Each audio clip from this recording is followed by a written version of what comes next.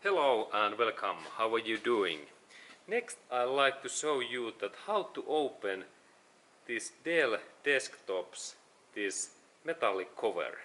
And now I am talking this Dell personal desktop computer and there is nice idea in that product what is uh, really easy to show you that there is in this up area that kind of button in here in this up area and also in here down area.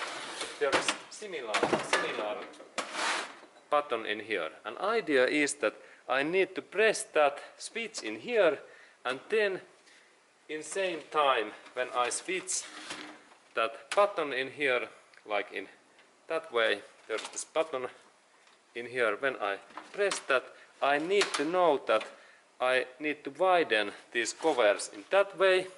And now this like this upper area is free. There is this joint and that hole.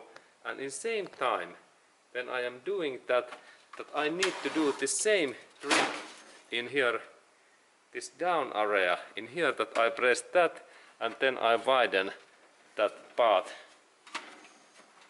also in here in that way. And this this is now it looks easy but actually it is so so it is not so easy if we don't know that trick.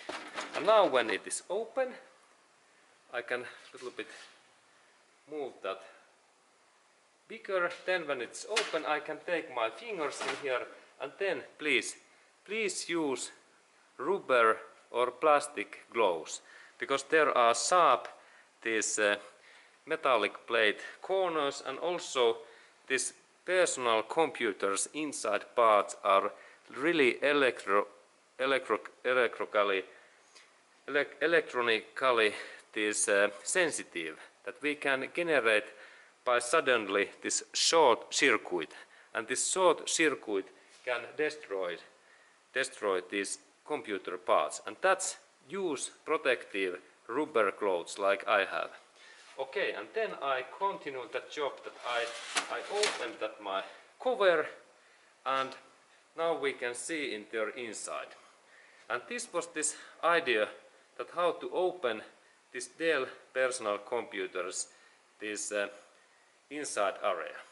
Okay, and then close happens so that I only insert this part in that way and then hard press and we check that this upper area is intact in that way. And then also this lower area is tight in that way. And, and this. Okay and then I rotate that in here. And there is Dell logo. And computer is ready for use. Okay and thank you for watching that video